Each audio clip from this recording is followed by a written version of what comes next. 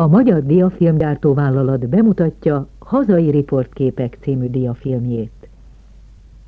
Felszabadulás utáni történelmünk hétköznapjait, ünnepeit idézzük fel a most következő néhány percben. Országjárásra invitálunk, olyan túrára, amely térben és időben röpíti az utazót. Induljunk el az ország szívéből, a nulla kilométerkőtől. Az első állomásunk a múlt. Fővárosunk sok szép emlékművel gazdagodott a felszabadulás óta. A parlament mellett Magyarország első köztársasági elnökének, Gróf Károlyi Mihálynak a szobra áll, Varga Imre Kossuth Díjas szobrászművész alkotása. Ez is a múlt. A 18. században barokk rokokó stílusban épült Fertődi Eszterházi kastély a hazai műemlékvédelem szép eredménye. Falai között nagyszabású hazai és nemzetközi zenei események zajlanak nyaranta. Itt rendezték meg például az Interfórum sorozatot, amelyen fiatal muzsikusok mutatkoztak be neves szakemberek előtt. Néhány kilométerrel arrébb egy egészen másfajta műemlék található. Cák határában a hatalmas fákból álló szelídgesztenye erdő tövében sajátos boronafalu pincék sora áll, amelyekben valamikor a híresen ízes, zamatos jó bort érlelték. Visegrád királyi vár. Neve már az első Árpádházi királyok idején előfordul. Igazi fényét Mátyás uralkodásakor nyerte el. Európa egyik legnagyobb és legszebb kastélya állt itt. Rendszeres feltárása és rekonstrukciója a felszabadulás óta folyik, és napvilágra kerültek az ország legnagyobb arányú gótikus és reneszánszkori műemlékének még megmaradt részei. A budai várnegyed utca és tér arányai középkori eredetűek. Az összképből bántóan kiemelkedő múlt századi beépítéseket sikerült lebontani. Az új épületek az építészet mai nyelvén beszélnek, de alkalmazkodnak a régi épületek tömegéhez, tetőihez, megtartják építésvonalukat, telekosztásukat.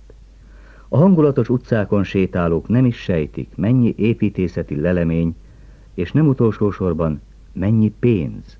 Évente közel 50 millió forint szükséges ahhoz, hogy az ország műemlékei mind szebb arcukat mutassák.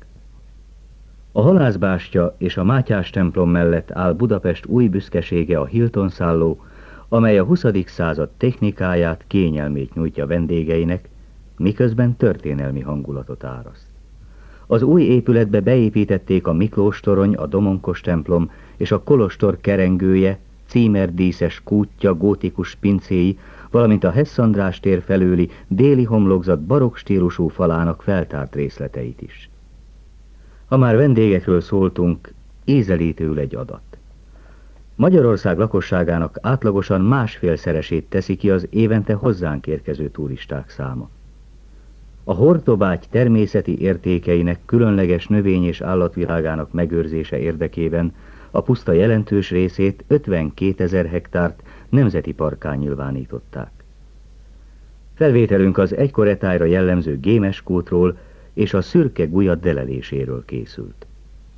Persze rég volt már, amikor csak a csikos, gulás, csárdás miatt keresték fel Magyarországot a külföldiek.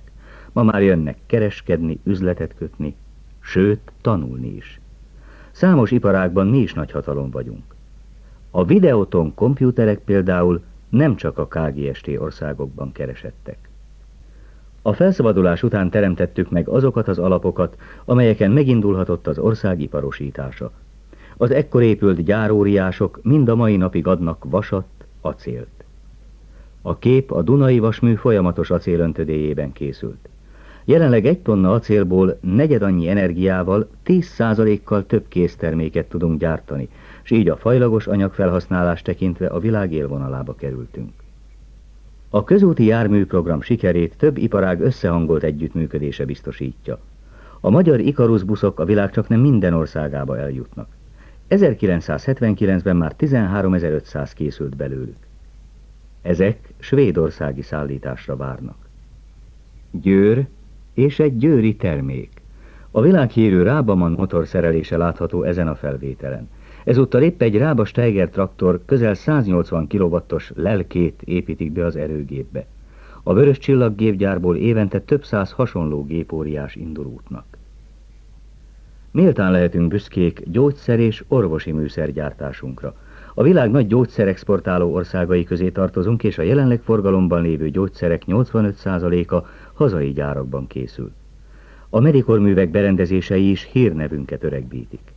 A képen izotópos csíramentesítésre készítik elő az egyszer használatos injekciós tűket. A magyar-szovjet Timföld és Alumíniumipari Egyezmény egyik kiemelt létesítménye az Ajkai Timföldgyár közel 2 milliárd forintos rekonstrukciója.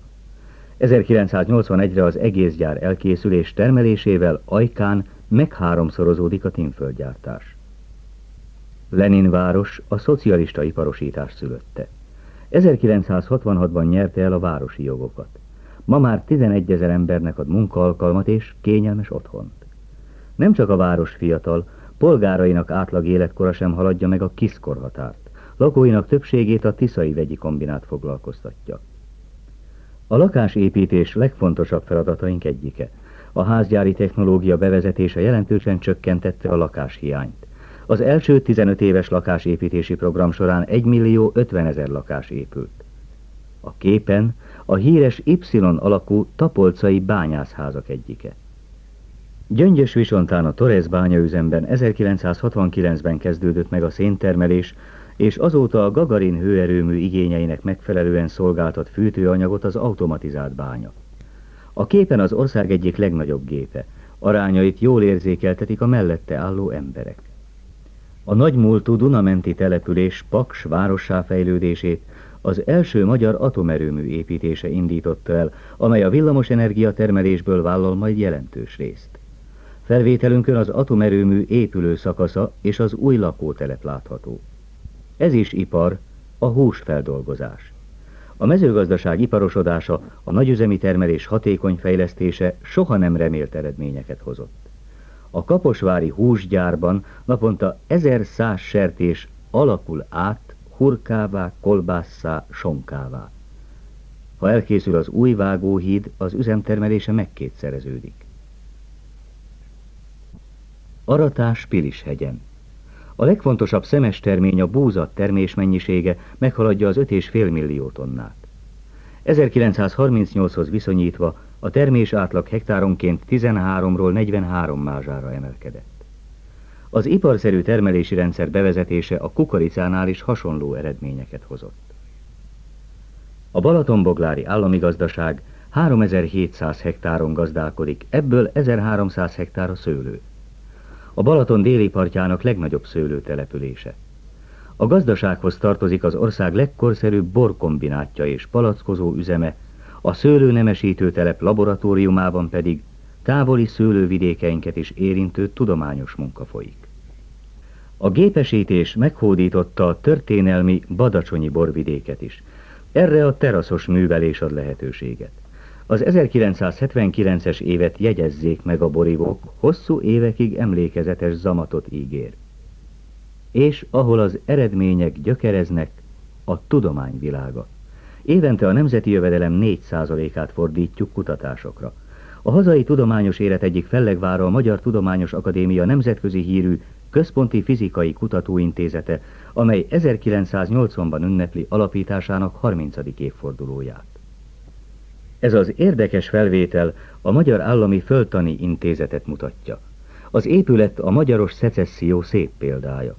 Az intézet az alapkutatások mellett szorosan kapcsolódik a gyakorlathoz is. Geológusai, kőzet és talajminták vizsgálatával a föld rejtett kincseinek kiaknázását teszik lehetővé. A tudományos élet sikerét a felsőoktatás alapozza meg.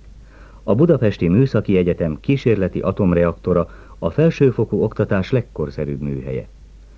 A különféle egyetemeken, főiskolákon jelenleg közel tízszer annyian tanulnak, mint 1937-38-ban.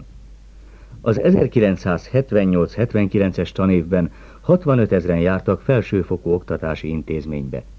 49,3%-uk nő volt. A. Mint alma. Oktatásügyünk nagy eredménye hogy a 6-13 éves korú gyerekek 98,8%-a jár általános iskolába. Új iskolarendszerünk a hatékony középfokú képzést is biztosítja.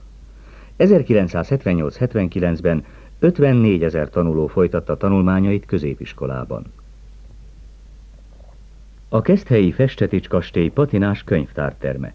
Az itt található könyvritkaságok is a tudományt szolgálják. A hazai közművelődés fontos eleme a csaknem 2700 művelődési ház és központ, a 10 és fél ezer közkönyvtár. A közművelődési törvény megjelenése óta 22%-kal megnövekedett az állomány, az olvasók száma 2 millió körül jár. Hazánkban összesen 33 színház működik, ebből Budapesten 19 van. A színházi estek nézőinek száma évek óta meghaladja az évi 6 millió főt. 1978 végén adták át az ország legújabb színházát, a Győri Kisfaludi Színházat. Az épület oldalát Viktor Vazarelli kerámiája díszíti. A szabadidő eltöltésének nagy tömegeket vonzó formája kempingezés. A Balaton partján egy-egy meleg hétvégén több mint félmillió hazai és külföldi vendég keres felüdülést. Több millióra tehető a rendszeresen úszó, futballozó, kocogó, teniszező amatőrök száma. Az országban 11 és fél ezer szakosztályban majd félmillióan sportolnak.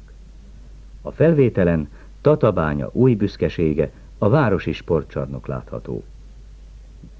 A gyógyellátás színvonala, az orvosok, a kórházi ágyak száma, az intézmények szervezettsége, az egészségügyi ellátás jellemzői. Most háromszor annyi orvos dolgozik, mint a háború előtt, 1978-ban közel 30 ezer. Majdnem 100 ezer kórházi ágy várja a betegeket. A számos szotüdülő egyike az újjáépített Lilafüredi palotaszálló. Az egyik legfontosabb szociálpolitikai cél létesüljön minél több bölcsődei, óvodai férőhely. 1980-ban a bölcsődékben 70 ezer, az óvodákban 400 ezer gyermeket tudtunk elhelyezni. A Füredi úti lakótelep kék óvodája az egyik legszebb gyermekintézményünk. A felszabaduláskor a lakosság alig 40%-a részesült társadalombiztosításban, most 100%-a. A társadalmi juttatásokból több mint 40 milliárd forint jut a nyugdíjasoknak, közel 9 milliárd családi pótlékra, és 3,5 milliárdot fordítanak gyermekgondozási segélyre. Hidak, utak, utazás. Egyszer minden út, így a mi 35 évben tallózó utunk is véget ér. Nagyon sokról kellene még szólnunk, de csak ennyi fért rá 36 kockára. Ízelítő ez csupán felszabadulás utáni három és fél évtizedünkről, gyors fénykép, amely némi áttekintést és emléket is adhat. Búcsúzzunk az alkotmány napi tűzijátékkal. Három gondolat kapcsolódik össze az augusztus 20 estén. Az államalapítás, az új kenyér és az alkotmány ünnepe. Három gondolatkör, de egyetlen gondolatsor. Írta Szűcs Gábor, szerkesztette Fehér Judit és Lázár Júlia. Elmondta Bozai József.